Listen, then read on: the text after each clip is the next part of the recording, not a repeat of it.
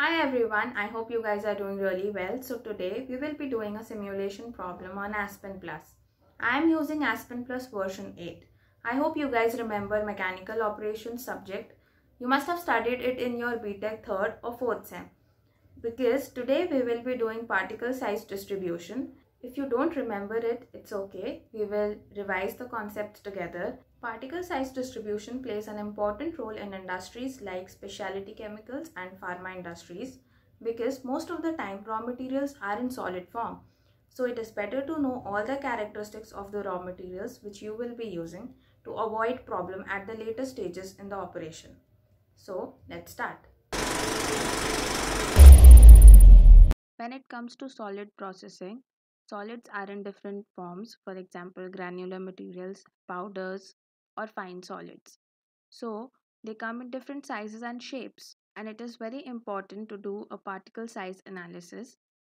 So particle size analysis or particle size distribution is a list of values or mathematical function which defines the relative amount of particles present in a system according to their size. See why is it so important to define particle size distribution. First, to quantify a system that contains wide range of particle sizes. For example, a sample contains particles from 5 mm to 100 mm. So how do we quantify that? For that we need particle size distribution. Next, in many of the solid processing operations, particle size distribution at initial stages is neglected due to which it causes problems at the later stages. So, flow properties of solid materials are strongly dependent on their sizes and it is better to know particle size distribution at the initial stage for hassle-free operation. It is represented by differential or cumulative curve. From cumulative frequency distribution, you will get median, which is around 45 microns and this 45 microns is the number by which we can characterize the sample. So we can get another curve by taking the slope at each and every point and that curve will be known as differential frequency distribution. Here we can characterize the sample by using mode. So mode is the most occurring particle size and most occurring particle size here is 45 microns. So mostly cumulative frequency distribution is used and in our simulation also we will be using cumulative frequency distribution. We will consider a simple solid handling case of potassium chloride. The flow sheet will consist of a feed stream, a crusher and a product stream. So a crusher is used to reduce particle size of a feed stream and then we will analyze the results to demonstrate the concept of particle size distribution. Let's go to the Aspen environment now. When you will open Aspen Plus, click on New and select Solids with metric units because you will be dealing with solids. Now find potassium chloride by typing here. it will start searching a data bank. Select this and add selected compounds. Once you do that, you need to change the component ID from conventional to solids because a component can be defined with the different component IDs. For example, if you are defining potassium chloride as solid, this means it will be treated as inert and it will not take part in any of the reactions. Now click on the next button. This screen will appear where you have to put the property method. So since we are dealing with solids, we will use solids as property method. Now click next. Go to the simulation environment. Under solids palette you will find crusher. Select that. And add input and output streams.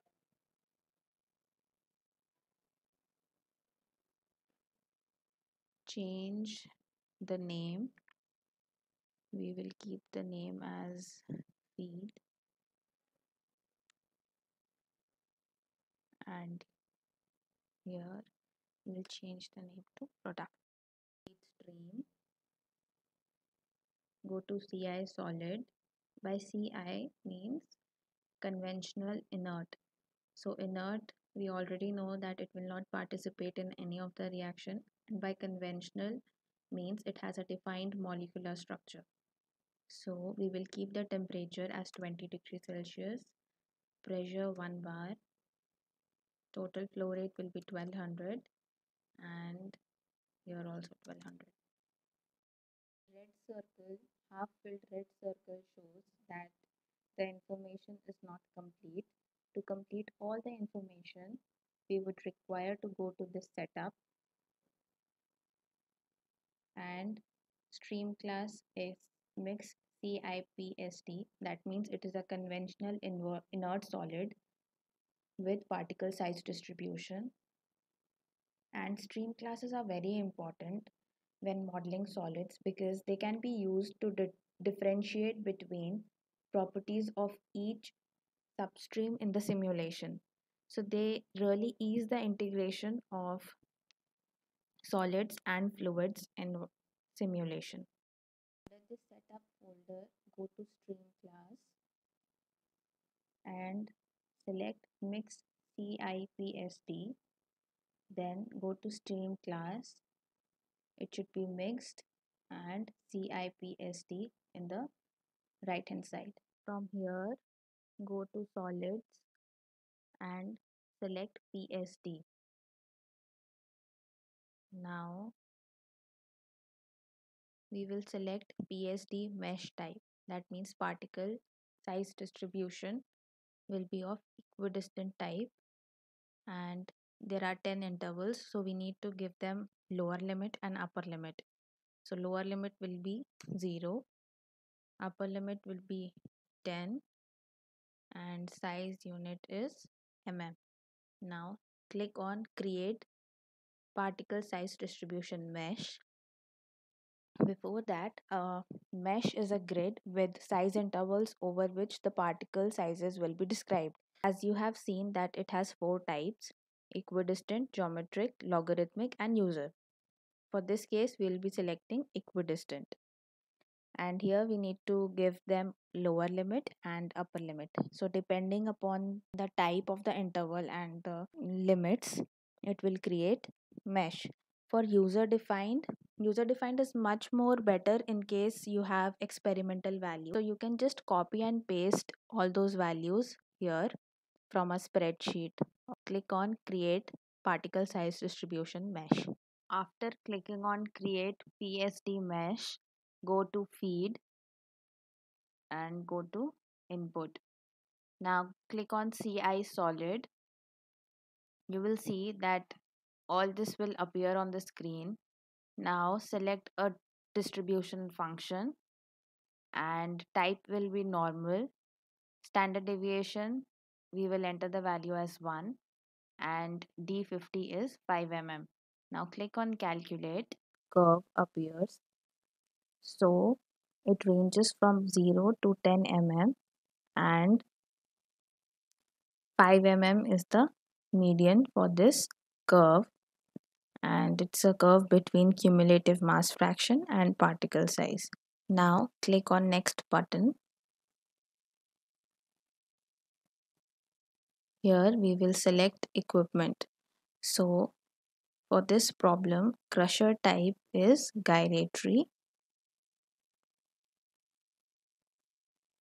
and we need to define maximum particle diameter. So a maximum particle diameter in mm is 2. Now click on the next button to run the simulation.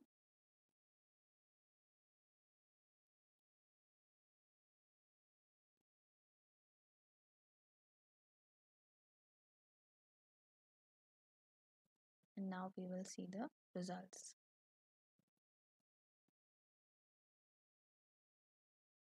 Let's convert the units to mm.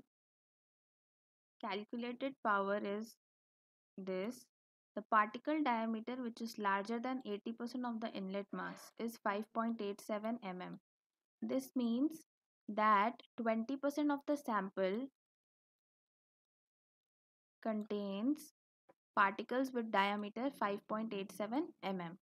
Similarly, 20% of the outlet mass contains diameter contains particles with diameter 1.83 mm. Particle dia which is larger than 50% of the inlet mass this we have already defined which was 5 mm or you can recall it by D50 notation. So D50 was 50% of the sample contains particles smaller than 5 mm. Now there comes a term size reduction ratio. So size reduction ratio is in simple words it is the ratio of initial particle size to the final particle size. Sauter mean diameter of inlet particles have been reduced from 4.75 mm to 0.72 mm. So Sauter mean diameter it's an average particle size and it is the diameter of spheres with same volume to area ratio as the particle mixture. I hope you guys find the video very useful and small suggestion from my side is do analyze the results accurately and if you don't know the meaning of any of the parameters just find it out because what happens is we know how to do the simulation as in we know all the steps but we don't know how to predict the results accurately so it is very important to do that. And uh, if you want to stay updated to our channel just follow our instagram page. I'll be leaving the link in the description box below. And don't forget to like share and subscribe. Thank you